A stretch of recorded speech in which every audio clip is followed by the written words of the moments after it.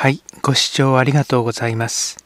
これよりお届けいたします作品は、山本周五郎作、本所みぞれ菓子です。この作品、本所みぞれ菓子は、昭和14年、婦人クラブ5月号に掲載されました。新潮文庫のシリーズでは、演書という短編集の中に収録されています。それでは本文をどうぞ。山本周五郎作本所みぞれ菓子その第1回1の1かあ、親父。魚はもうこれっきりか？一人頭5問目と張り込んであるんだぜ。中にネタにたら昆布は広がろう。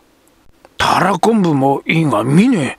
おいらのまるっきり昆布昆布だ。矢組の木沢兄が一世一代のおごりなんだ。一度会って二度とはねえ久保様のご三代ってとこだぜ。刺身ぐらい決まったらどうだ、親父。本所北詰橋の貸しにある居酒屋鶴七の店はいっぱいの客であった中にも八軒の明かりの下に陣取った町火消しと見える七八名の若者たちはもうだいぶ酔いが回った様子でしきりに店の主人もからかっていた裸しちゃいけねえ。主人の鶴七は鍋前から悲しけに刺身だなんてお大名の沙汰だ。鶴七は手妻使いじゃねえよ。嘘をつけ。この酒なんざ相当の手妻もんだぜ。濁りじゃねえからな、木佐さん。こっちに言わせりゃ、一人頭五問目と弾んだ、おめえの方がよっぽどいかがわしいや。お、嫌がったな、親父。喜三郎という頭に白くさらし木綿を巻いたのが腕まくりもする。とそばにいた一人がいかがわしいといえば、と急に身を乗り出した。みぞれ菓子の西脇道場の火事の時、変なことがあったの知ってるか？また銀太のおみこしが始まったぜ。担ぐんじゃねえ。ほんのこった。兄たちは知らねえだろうが、西脇先生は焼け死んだんじゃねえぜ。本当のこった。俺は茂雄を掘り出したから知ってるがな。肩から胸へかけてこう刀傷が、いてピシッと頬を殴ったものがある。右側の一人置いて隣にいた男だ。銀太は頬を押さえながら恨めしそうになんでかかに、ぶつこと、なんでじゃねえ？つまらねえことベラベラ喋りやがって。棟梁をはじめ組中の迷惑を考えてもみろ。もし関わり合いにでもなったらどうするんだ？トンチキめ。みんな、今のは銀太のおみこしだ。忘れつくんねえ。そんなこったろうと思ったよ。喜三郎が杯を煽ってだがなんだぜ。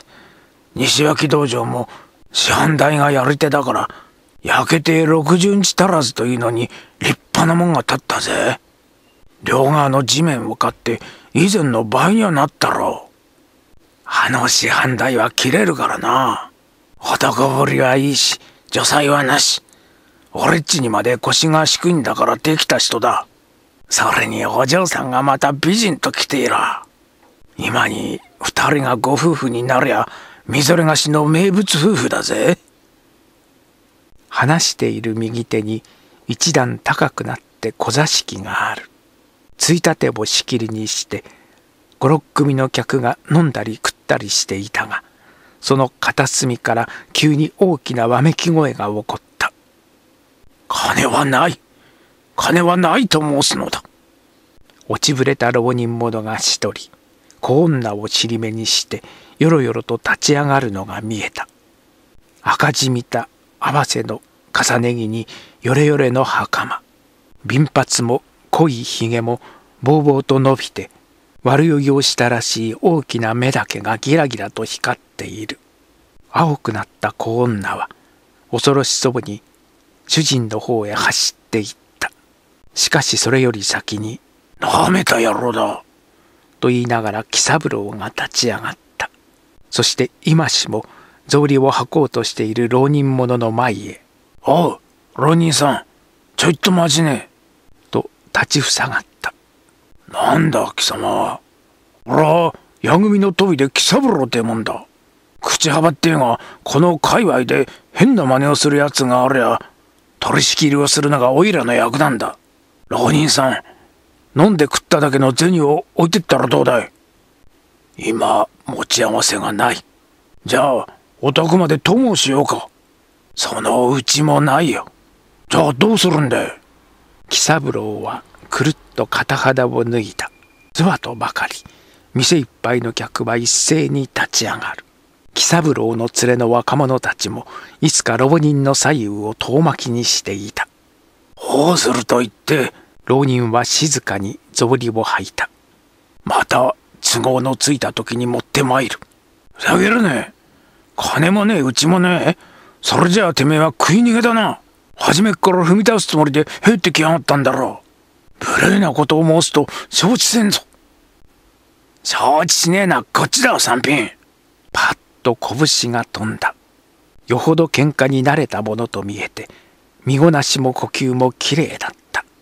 浪人者は危うく拳だけはかわしたが泥酔している体がぐらりと崩れてたっとのけさまに小座敷へ倒れた。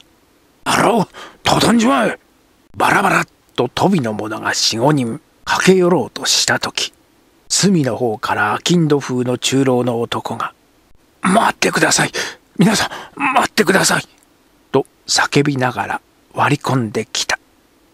なんで佐渡荘さんじゃねえか。危ねえから引っ込んでてくんな。いいえ待っておくんなさい。佐渡屋庄兵衛と言って向こう貸しで道具屋をしている男だった。生きり立つ若者たちを押し隔てながらこの方は私が少し知ってるんだ。勘定は私が払うからもうこのくらいで勘弁してあげてください。さあこれで担当はないが払いをして余ったらみんなで一杯やっておくんなさい。だってそれじゃあんまりまあいいから鶴七さん頼みますよ。一部銀棒をし付けて素早く佐渡省は浪人者を抱き起こすとほとんど担ぐようにしながら店を出て行った。春とは言っても2月の夜寒。川面を吹いてくる風は肌を刺すようだ。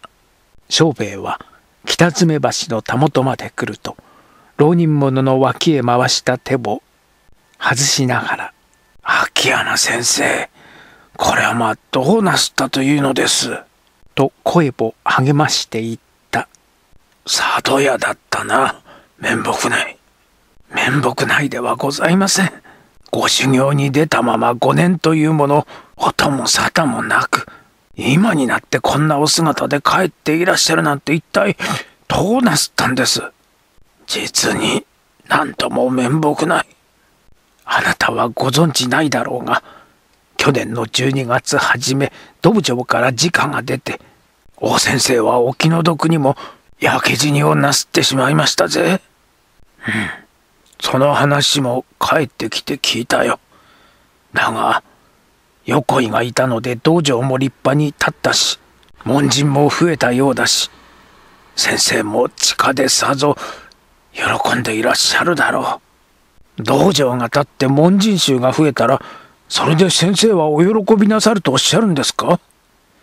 冗談じゃねえ。私はただお出入りのしがねえ道具屋だが王先生には別婚にしていただいてました。佐渡屋にだけは話すとおっしゃって膝を割ったお話もたびたび伺っています。秋山先生庄兵衛は低く力を込めて言った。王先生はねあなたが立派にご修行を果たして帰っていらっしゃるのをただそれだけを待っておいでなすったんですよ。王先生ばかりじゃありません。お嬢様だってさあどうやもうよしてくれ。王先生やお嬢さんの気持ちがあなたにわかるまではよしません。横井さんはなるほど利口者だ。金の工面もお上手だしご指南ぶりも女才がねおっしゃる通り道場は以前の倍もお盛んでございます。けれどもあんなに望みをかけていらしたあなたがこのありさまでは亡くなった王先生は浮かばれませんぜ。いまだにあなたを待っていらっしゃるお嬢様はどうなるんだ。大丈夫だ。そう心配するな、佐渡屋。拙者だってこれで、お、お、危ねえ。後ろは川ですぜ。よろめく相手を抱き留めて、お酒などは一滴も上がらなかったあなたが、これじゃあ先生が生きていらしたらお泣きなさるだろう。さあ、肩へぐっと寄りなさい。足元が悪いから気をつけて。どこへ連れて行くのだ私の家へ行きましょう。酔いが覚めてからとっくりお話をいたします。川風が激しく二人の裾を払った。2の1本所清水町の菓子。俗にみぞれ菓子と呼ばれている片川町に。木の葉も新しい。30軒四面ほどの剣術道場がある。源流平方指南。西脇五郎左衛門。という看板が掲げてあるが師範五郎左衛門は作冬死し現在では大師範横井千之助が教授をしている。松江公が個人を愛していたそうで今の不審もそのお手元金でできたものだという噂であるし事実また門人の中には松江藩士が多かった。朝から激しい稽古の行われている道場とは別棟になっている母屋の人まで亡き五郎左衛門の一人娘松江が客の老人とさっきから静かに滞座している。老人は松江公の用人で分部半兵衛といい五郎左衛門の生前から親しくしている人物であった。嫌いと言うなら仕方がない。半兵衛は娘に言うような口調でしかし嫌いでないならば考えてもらいたい。横井は源流師範としての腕も確かだし門人たちの休憩も良い。去年のご不幸の後がこの通り立派に再興したのも無論五郎左衛門殿の徳ではあろうが横井の手腕にもよると思う。どうだ？あの男なら西脇の跡目として恥ずかしからぬ人物と思うが婿に取る気はないか。いろいろとご心配をおかけしまして申し訳ございません。松江は静かに抵当しながらお話はよくわかりましたけれど私にとっては一生のことゆえしばらく考えさせていただきとうございます。無論五郎左衛門殿の一周忌でも済まぬうちは祝言もなるまい。今日はその元の気持ちを聞いてみたいと思って来たのだ。よく考えてみて承知なれば仮の杯をする運びにしたいと思う。いつもご親切にありがとう存じます。そう言って松江は静かに目を上げた。それから、あのただいまのお話は、分部様お一人のお考えでございましょうかそれとも、横井からお願い申したことでございましょうかこの話をするには、別に頼まれたわけではないがの。半兵衛は笑いながら膝を上げた。しかし、横井がそのもとに心底を打ち込んでいるのは事実じゃろう。酒も飲まず、悪所が読もせぬ堅物のあれが、わしの前で顔を赤くしながら。いや、これは口止めをされていることであったよ。半兵衛も猛録の君じゃ。ではまた、折を見て参るとしよう。今一服そちゃを。いや、紅葉の途中じゃ。造作をかけたの。お帰りでございますか。失礼をいたしました。松江は半兵衛を送りに立った。ややしばらくして戻ってきた時は、横井千之助が一緒だった。彼は色の白い眉の秀でた美男で、澄んだ瞳には犀利な光があふれている。着物にも袴にも凝った渋みを見せ、言葉つきにも動作にも寸分の隙がなかった老人何か熱心にお話の様子でしたな。千之助は微笑しながら先生のご在政中からお世話にもなっていますしまた真実この道場のためには本気で心配してくださるのだがどうも老人の一人が点が多くて迷惑なこともございます。今日は何を話しておられました？あなたはご存知のはずでしょう。拙者の知っていること。というとすき家を建てるお話ですか？松江は黙って千之助を見た。千之助の目は眩しそうに庭の方へ外れた。ああもう梅もおしまいですね。内門人の相良伝十郎というのが顔色を変えて走ってきた。小事案内ちょっとなんだ？今玄関へ。耳へ口を寄せて何かささやくと千之助の引いてた眉が険しく寄った。そして二人は足早に去った。松江はそれに目もくれず黙って庭へ降りていった。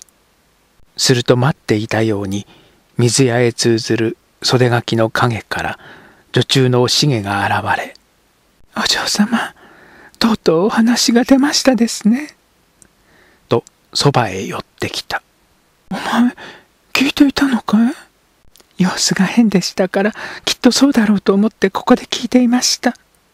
まさかお嬢様はご承知遊ばすのではございますまいね。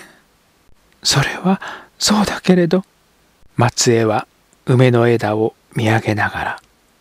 お断り申す口実がないのよ。これが超過であったら嫌いだからで通せるかもしれないけれど私は西脇源流の家柄を建てなければならぬ体ゆえただ嫌いだからでは断れないわ。わけはございませんですよ。おしげは意気込んだ口調で言った。秋山様のことをおっしゃいまし亡くなった旦那様のおぼし飯でこの道場を継ぐのは秋山様と決まっていましたものを何のはばかるところがございましょうでも正吾様は5年もお便りがないしいつお帰りかそれもわからないではないの。ことによるともうこのままいいえそんなことがあるものですか。秋山様はきっとお帰りなさいますわ。お便りがないのもご修行一年のせいに相違ございません。あの方に限ってそんな。おしげは急に言葉を切った。道場の方から恐ろしく大声に叫び立てる声が聞こえてきたのだ。気がつくと稽古の市内の音も絶えひっそりとした中にそのわめき声だけが大きく反響している。その声をしばらく聞いていたと思うと松江はさっと頬を青くしながら縁側へ上がっていった。2の2声が高い。奥へ聞こえるぞ。聞こえたって構わん。手を離せ。離すから静まれ。秋山。千之助は相手を羽交い締めにした。貴公の頼みは承知した。しかしここで騒いではお嬢さんに聞こえる。こんなところをお見せしてはいけないのだ。おとなしくしてくれ。ええ話せというのにくそ。泥酔している力でぐいっと身をひねると千之助の腰に刺していた。脇差しの塚に手が触れる。そのままぎらりと引き抜いた。危ない。秋山驚いて千之助は飛びのいた。秋山正吾は脇差しも手にしたまま。よろよろとよろめいて道場の真ん中へ座り込んだ。鶴七の店で飛びの者たちから危うく手ごめにされようとした。あの時のままのおは打ちからした姿であるはあいいものを指しているじゃないか。正吾は脇差しを見ながら町道場の大師範などにはもったいないぞ横井百両貸すのが嫌ならこれをもらっていこうか。いけない。秋山それは先生からいただいたものだ。金は都合をする。今すぐと言われても困るが今夜のうちには半分でも何とかする。だからここは一度おとなしく帰ってくれ。追い出そうというのだな。ごめん被る。正吾は脇差しを投げ出して。貴様が大師範なら、俺だって大師範だ。別に先生から破門されたわけではないんだぜ。3年と約束した修行が5年に伸びただけの話だ。これだけの門人、以前の倍もある道場。こいつを貴様一人にせしめられてたまるか。それは違うぞ、秋山。千之助は隅の方へ固まっている門人たちの目があるので、努めて穏やかな調子を失わなかった。貴公が言うまでもなく、先生亡き後は、貴公と拙者とで盛り立てなければならぬ道場だ。むしろ拙者としては貴公こそ、うるさい口先で何と言おうが、貴様の腹は分かっているんだ。正吾は血走った目をむき出してわめいた。貴様は、俺を追い出してこの道場を乗っ取るつもりだろう。そんなことは分かりきっている。だが、俺は黙って指をくわえているような甘い男じゃないぞ。大体先生は、この俺がごひいきだったんだ。この道場はもちろん、お嬢様の婿も。お黙りなさい。突然と叫んで冗談へ松江が現れた顔色は青く唇はブルブルと震えているさすがに正吾は慌てて「これはお嬢様」と座り直す正吾へ「これを持ってすぐお立ち去りなさい」怒りの声とともに金包みを投げ出した「これは?」お望みの百均ですそれを持ってここを出て行ってください。亡き父に代わってご破門申します。再び姿をお見せくださるな。お嬢様一膝乗り出したが、松江は見向きもせず奥へ去ってしまった。みんな無言だった。そして正吾はしばらくその後ろ姿を見送っていたが、やがて金包みを引き寄せてふらふらと立ち上がる。おい、松原。と門人たちの方へ怒鳴った。百両ちょうだいだ。おごってやるから来い。村上に吉本も来い。貴様たちはまだ秋山将軍の飲みっぷりを見たことがないだろう。金はこうして使うものだというところを見せてやる。何をびっくりしているんだ。貴様たちがどうやら棒ちぎれを振り回せるようになったのもみんなこの秋山先生のおかげじゃないか。それとも嫌だというのか？嫌ならこっちにも覚悟があるぞ。三人は千之助の目配せを見て「お供をします」と道具を脱ぎにかかった。お供をいたしますからしばらくお待ちください。表で待っていてやる。千之助。正吾は振り返って、いずれまた来るぞ。百両ぽっきりで縁が切れたと思うなよ。今度来るときはもう少し大きくもらうぞ。覚えておけ。そう言って玄関の方へ出て行った。最後のそのわめき声は、松江の胸を刺すように響いた。それまで杉戸の陰に立って様子を見ていたのである。波紋と言ったら少しは本性に帰るかと思ったのだ。もうダメ、ダメ。松江は胸いっぱいに叫びながら走って行って自分の居間へ泣き伏した。なんという変わりようであろう。5年ぶりで帰るのにあの泥酔。父の仏前を訪ねるでもなく、いきなり金を無心して乱暴狼藉するなどと。なんとしたことか。なんとした。松江は身もだえして泣き沈んだ。おしげも慰める言葉を知らず、ただ呆然とたもとを噛みながら立ちすくんでいた。三の一。どうか命ばかりは切りはせん。こちらへ来い。この通り、え、風呂のくりで、ビタゼも持っちゃいねえんで、どうかご勘弁を。金ならこちらからくれてやる。来い真っ暗がりの四つ目菓子である。二三日前からめっきり春めいてきたいい陽気に風呂帰りを川風に吹かれて鼻歌なんぞを歌いながら通りかかった闇の中からきなり白羽を突きつけて現れた浪人者があった。用があるから来いというのだ。下手に騒ぐと切るぞ。え、え、メリアス、メリアスから、そこの腹へ入るんだ。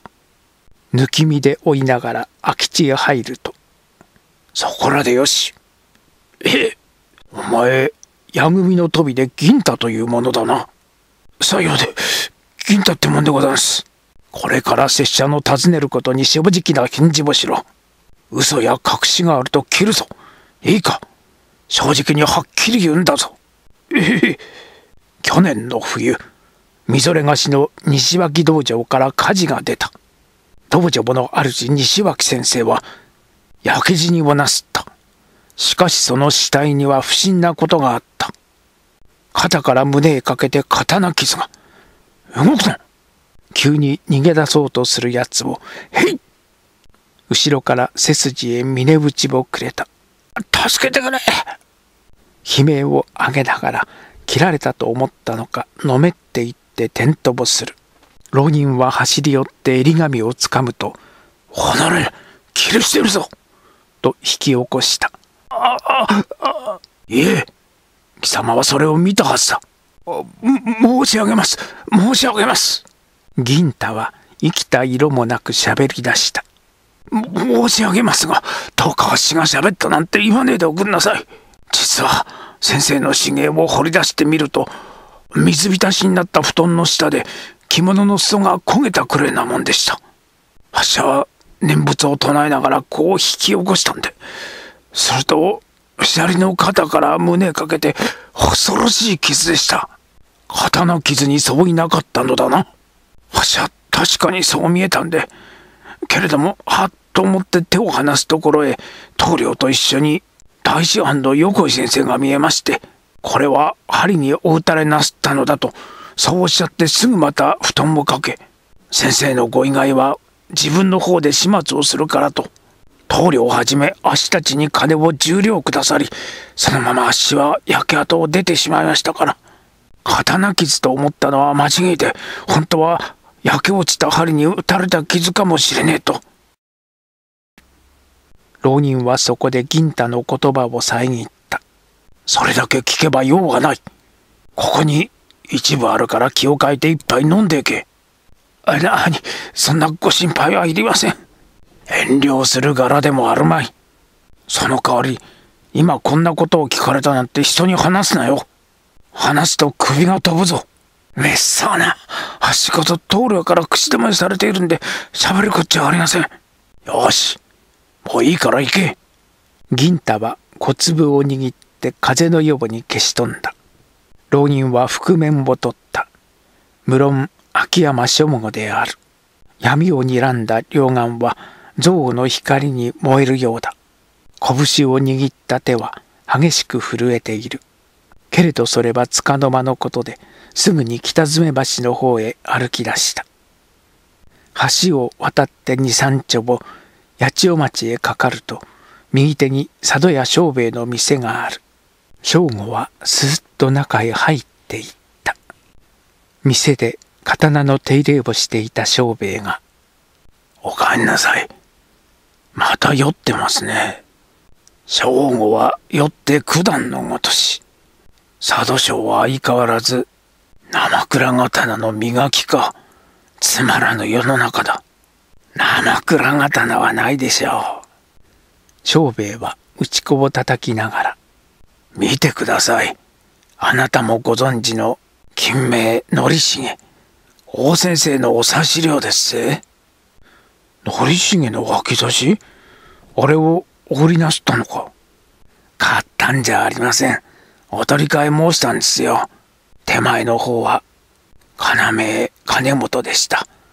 これより五分ほど短かったが、金30枚という折り紙付きの立派なものでしたぜ。そうか。あれは金本だったのか。要金本をご存知ですか？五六日前に見た。通りで立派な品だと思ったよ。そういえばあの闘争は確かに金本だな。何を感心していらっしゃる？庄兵衛はニヤニヤ笑いながら。あなたがあの金本をご覧になる道理がありませんよ。あれは焼けちまいましたぜ。焼けたとは？正吾はそこへむずと座った。三の二。王先生の亡くなったあの晩、惜しいことに一緒に焼けてしまったんです。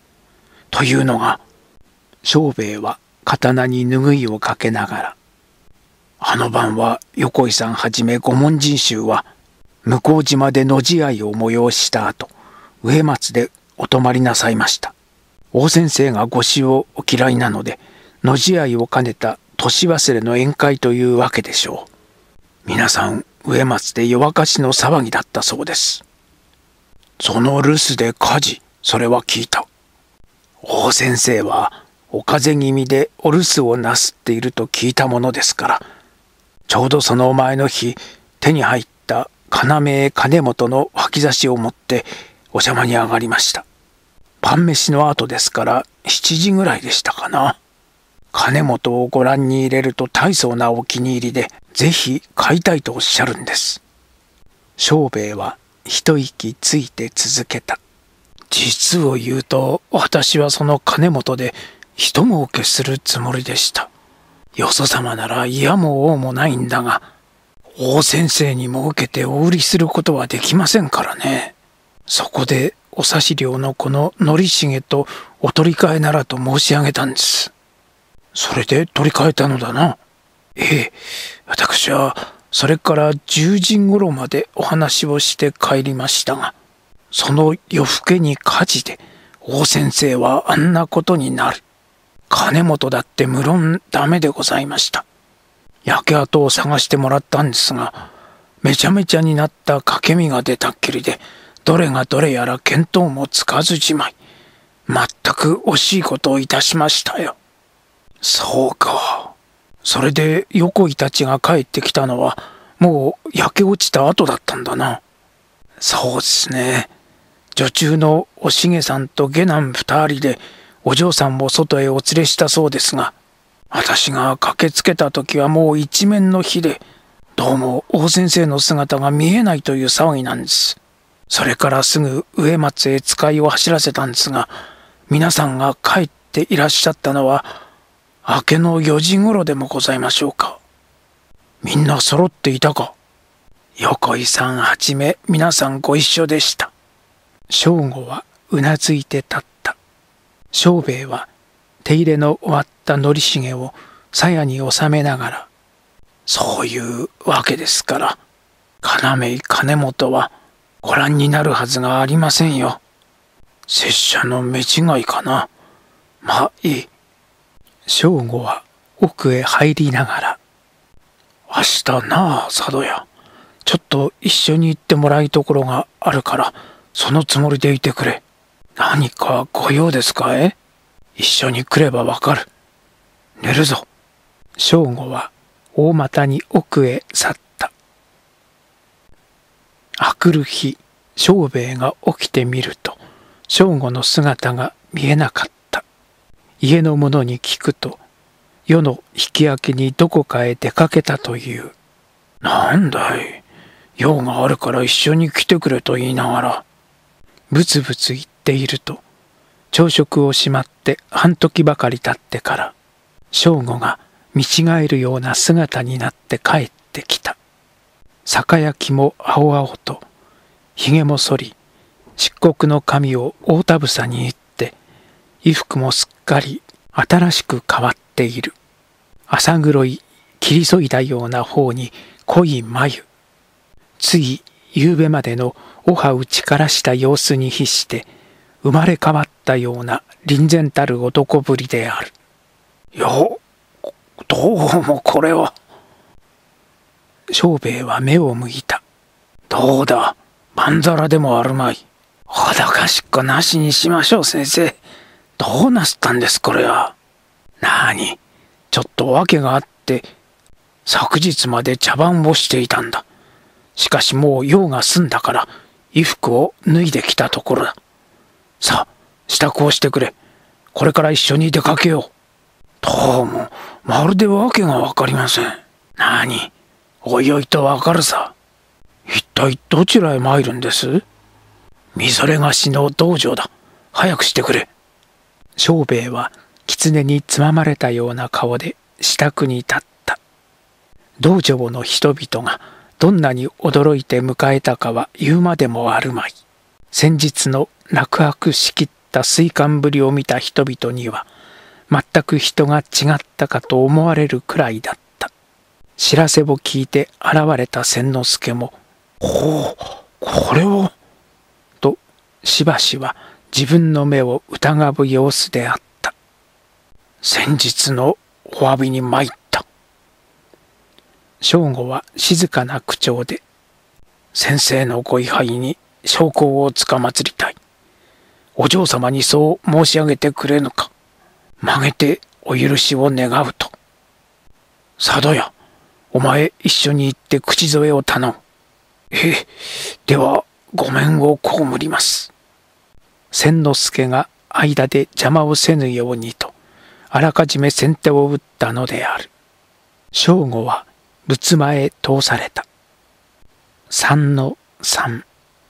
死の霊前にしばし黙祷していた正吾は、やがて座を滑って松江の前へ両手をついた。お嬢様、先日の無礼は幾重にもお許しを願います。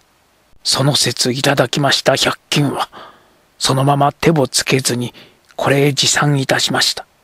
破門をすると仰せられたお言葉と一緒に、どうぞお納めを願います。松江はただうなずいた。正午の物腰態度、言葉つきまでがらりと変わった様子に、相手の心を測りかねて、乙女の胸は深い疑惑の渦に巻き込まれたまま身動きならぬ感じだった。正吾は向きなぼって「よこい改めて貴公に礼を言う」とやはり静かな声で言った三年の約束で出た修行が五年に伸び留守中は何かと貴公一人の世話を煩わした熱く礼を言う恐縮だ。気候の多幸中に先生はご不慮なことに遭われ、留守を預かった拙者実に申し訳がない。あの夜、気候は向島の上松に泊まっていたと聞いたが、さよう、例年の野試合の後、お許しを得て門人どもと年忘れの主演を催した。拙者も酒はならぬが、強いられて二三倍重ねたのが悪く聞いて、早くから別まで寝込んでしまった。使いの者の知らせで驚いて駆けつけたが、とうとうあの始末で。では、あの夜誰も道場へは帰らなかったのだな。拙者だけでも帰っていたらと、今になっても残念に耐えない。正吾はうなずいて、拙者も今一年、いや、半年早く帰ってきたかった。そうすればこんな、いや、修行してきた腕を見ていただけたものを、何よりそれが残念だ。よこい。せめてご霊前に修行のご報告を申し上げたいと思う。人で立ち会ってもらいまいか。いいとも。久しぶりで教えていただこう。では、お嬢様。正吾は松江に向かって言った。ご位牌を道場へお移しください。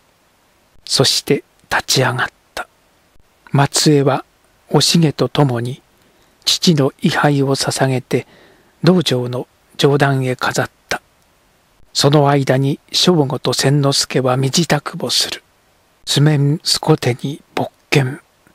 門人たちは一宮へ下がって列座した。二人は位牌に礼拝すると、いざと言って左右へ離れた。その時である正吾は勃剣を西岸に構えたまま大きな声で「佐渡屋!」と呼んだ佐渡屋そこに横井の脇差しがある。抜いて目利きをしろ。ええええ庄兵衛はわけのわからぬ顔で隅の方へ行った。正吾の勃剣は千之助の眼前微量をピタリと押さえたまま動かない。はっ！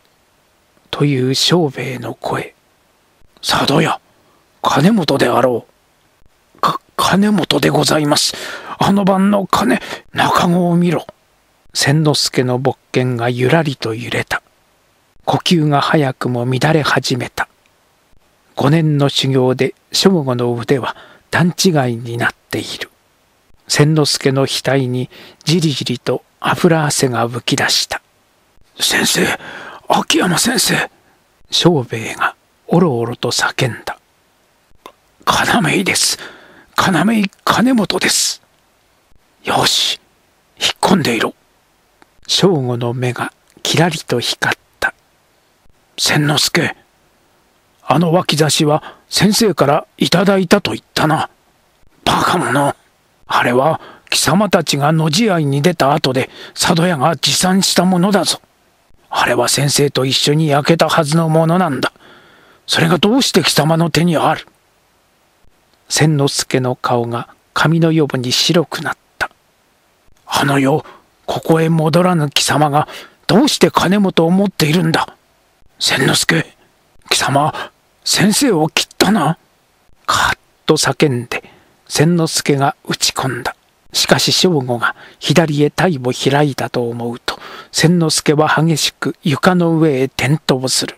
跳ね起きようとする首筋を正吾は力任せに踏みつけながら「動くな!」と絶叫した。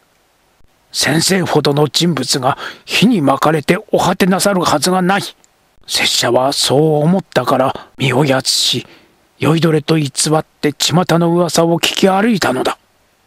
図らずも飛びの者が酒によって先生のご意外に刀傷があったと口を滑らせたのを聞き昨べそやつを取り正したのだ。貴様が針に打たれた傷だと重量を与えて飛の口を塞いだことも聞いた。だが動かぬ証拠は金本の脇差しだぞ。千之助は獣のようにうめきながら身をもだえた。正吾はなおも力を込めて踏みつけ。貴様はみんなの寝静まるのを待って植松を抜け出し先生を切って火を放ったのだ。その時金本に目をつけたのが悪運の月だったんだ。他の刀ならまだしもこの金本だけは持ち出してはいけなかったんだぞ。正吾は足を離した。立て立て千之助。先生のご霊前だぞ。お嬢様も門人たちも見ている。できるならその勃剣で身の恥を注いでみ。くそ。喉も裂けるような叫びとともに千之助はガバと羽をき玉打ち込んだ。正吾は二歩三歩と退きながら「鎌倉それで西脇道場の大士官と言えるか。来い。命がけで来るんだ。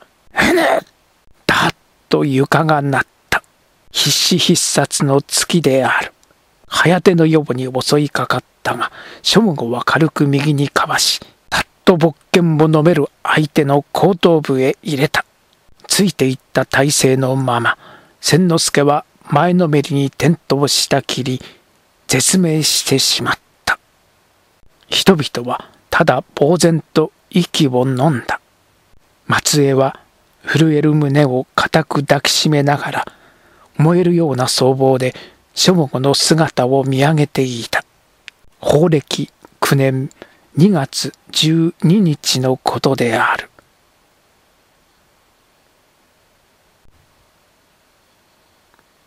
山本周五郎作本所みぞれ菓子。全文読み切り。書室婦人クラブ。昭和14年5月号より。朗読全6回。完了。2020年11月21日。